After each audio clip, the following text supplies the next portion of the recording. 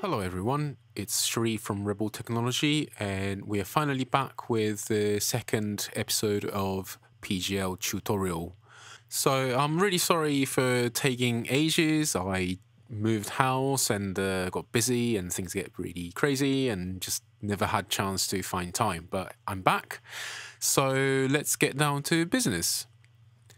From where we left off, from previous tutorial, where we made the live looper with pitch shifting, which is fun and games, but it doesn't sync to anything. Really, it's quite limited for a musical use.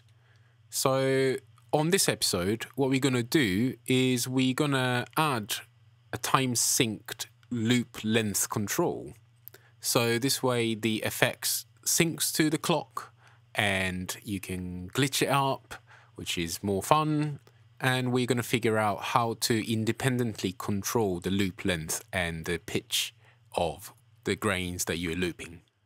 So what we're going to do first is to go back to the original PGL gen patch. And if you remember it from our gen delay patch tutorial, uh, we've made the tap tempo, which is this gen timer, and it counts the clock length and spits out the value in samples. So what we're going to do is take those two objects, copy it and paste it onto the tutorial patch. And then connect the outlet of the param push and then bring it all closer. So in a bit, we're just going to make a little bit more space down there. But before we do that, uh, let's see what the phasers are doing right now. So it's outputting the value between 0 and 1.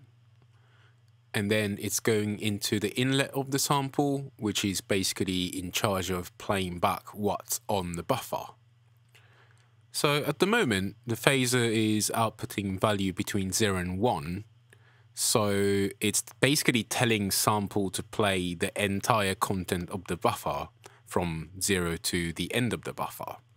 So what we're going to do is shorten that value so it plays from the beginning of the buffer, goes up to the certain index of that buffer, and then loops back, hence creating a loop, which we call it a grain.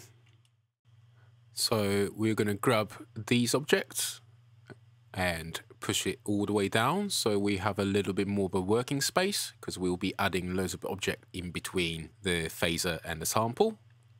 But before we do this, let's go back to the original patch and look at the pitch control, which is a bit different from what we have in the tutorial patch.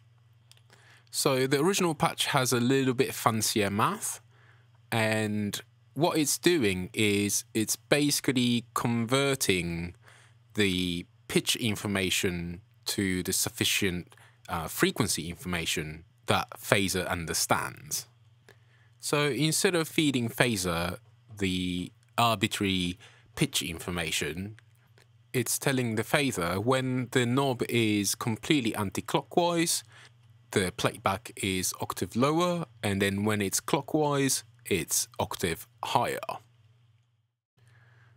So let's get rid of these two objects and let's put the proper algorithm for the phaser to understand. So the first thing to do is to scale the value between 0 and 1 into 0 0.5 and 2. So this way, when the knob is 12 o'clock, it plays back on the original pitch. When it is on anti-clockwise, it plays on half the pitch, and then clockwise, double the pitch. And we divide 1 with that value, which gives us the frequency. Yeah, sorry about the typo. Uh, suddenly my keyboard switched back to Japanese, so I'm just trying to fix this. Uh, I'll be there in a second. And here we go. So we connect the outlet of scale into the inverted divide and then out. And the outlet of divide goes into the frequency input of the phaser. And then before we connect the param into the scale, we're going to add another inverted subtraction object between the param A and the scale. I'm doing this because when you connect the param A directly now, the anti-clockwise value will be the pitch high and then clockwise will go into the pitch low. So by adding one minus object, we can keep the physical position of the knob corresponding to pitch low and pitch high. So let's get into the nitty gritty. So the first thing to do is to look at the original patch and uh, we just look at this little section here and it does look a little bit scary at the moment, but don't worry about it because uh, we're going to break it down to much smaller chunks and I'm going to explain how to make it simplified. So amongst all the fancy objects in there, the core thing to look at is that modulo object. And the modulo object is a great object when you're doing looping because what it does is you set the value for the modulo, and whatever the value you feed in, it will loop between 0 and that set value. You type in as an attribute, or the right inlet will define that attribute. So let's get back into the tutorial patch, and I'm going to delete this connector. And then I'm going to insert a new object by Shift N and then type in modulo, which is percent, and then take the outlet, connect it to the first inlet of the second sample, which is your second channel.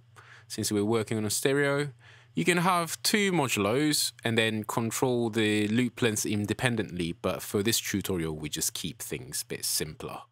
So what we're doing now is to keep the loop length in sync with the clock input that pushes receiving.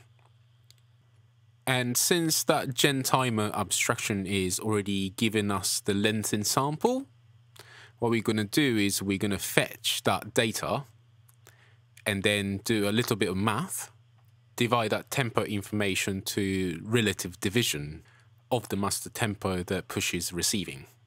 So the first thing is to create a receive object with the same name, time. So we can fetch that value and then move it a bit closer. And then let's grab the param C object, drag it down so it's much closer to where we got. And then the next thing to do is to multiply it by the maximum divisions that you want to go. In this case, I chose 16. So type in star, which is the multiply, and then follow by 16. Connect the output of param C and then add another divide object and then connect the output of the receive into the first inlet of divide and before you connect the output of the multiply what we need to do is we have to keep the output value as an integer so the loop length value stays the relative division of the master tempo. To do this, we add the ceil object, which basically rounds up to the higher integer. And that's a key thing. So what we need to do is connect the outlet of the multiply to the ceil and then ceil to the second inlet of division and then change the minimum value of param C to 0.01. So what it does now is when the knob C is in fully anti-clock position, uh, the ceil will round up the value to 1. So you never divide the tempo value with 0 because in computing, dividing the value with zero is a really bad thing. And before we put that into the inlet of the modulo, we do one more math because at the moment, the value that comes out is way beyond one. and we cannot exceed 1. So what we're going to do is we divide by the length of the buffer. And that keeps all the value neatly between 0 and 1. And let's save this patch quickly. And we're going to test what we've done. So we're going to go back to the parent patch. And then I'm going to close the Max window. Then turn the DSP on. And what I'm going to do is tap the tempo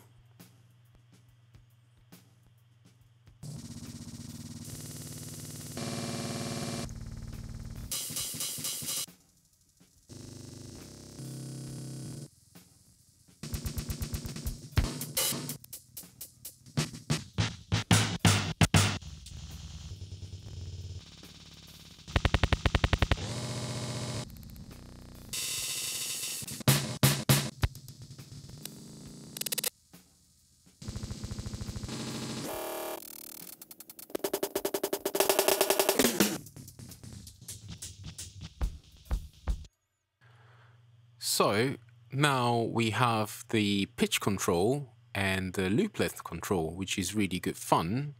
But one thing we notice is when you change the pitch control, it actually affects the length of the loop.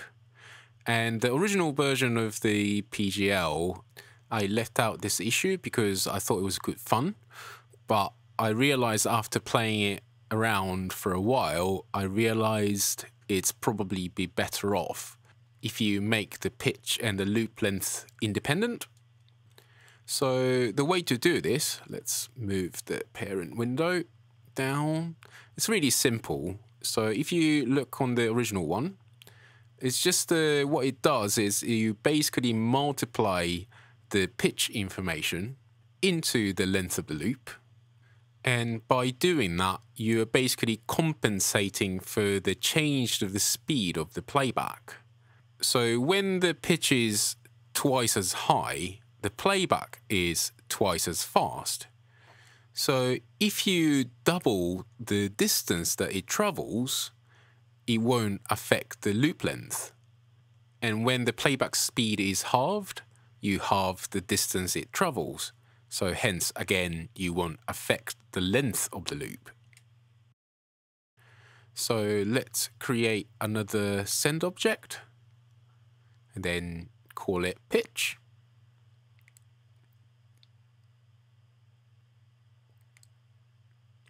Then connect the outlet and then create the receive object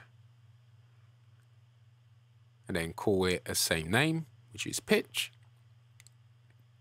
and you add another multiple object. And then connect the outlet of the receive into the right inlet of the multiply. And make it a little bit neater, like so. And let's go back to the parent patch. Turn the DSP on, tap tempo.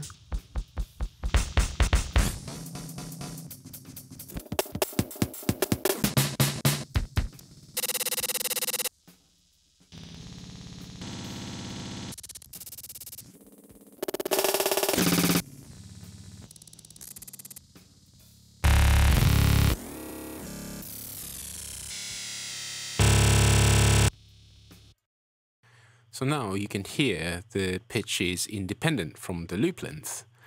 So before we wrap this up, we're going to add just one more little thing, and that's just to basically up the quality of the grain looping, and it's called windowing. And if you're not really familiar with granular synthesis, um, is a new term. But don't worry, I will explain it in a much easier term. So what windowing does is it's basically creating the fade in and the fade out at the beginning and the end of the each grain. So when the playback loops back, um, there's no jump between the end value and the beginning value of each grain because normally those jump in value creates a nasty click and we don't really want that.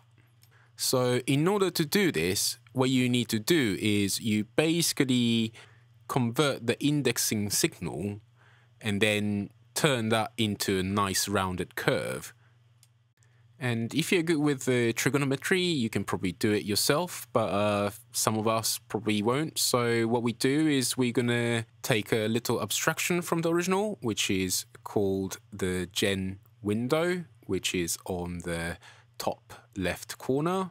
And what it does is it takes the playback signal and then does a little fancy math, which looks like this inside. So let's copy this and then paste it back into our tutorial patch.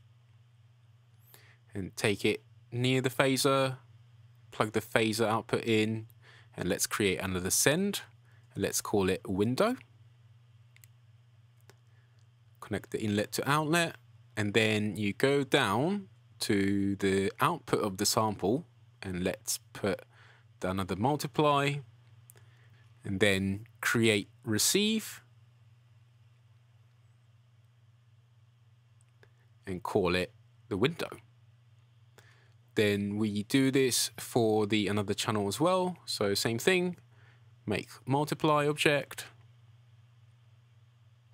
and then duplicate what you already made, move it closer, plug it in, make it a little bit neater.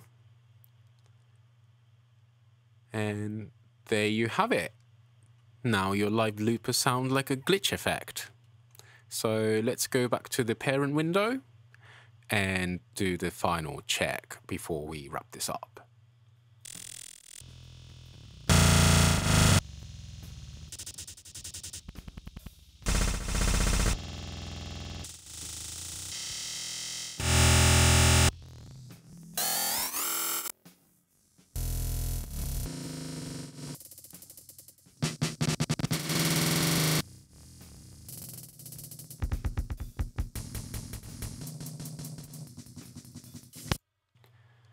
So that's it. Well, thank you for watching. And so sorry it took me ages to get this video up. I will be a bit more consistent from here on. So we'll be back soon with the final episode, I think, of the PGL very, very soon. And if you have any questions, please leave a comment. Otherwise, don't forget to hit like and subscribe. And until next time, Stay tuned and happy patching. See you soon. Bye.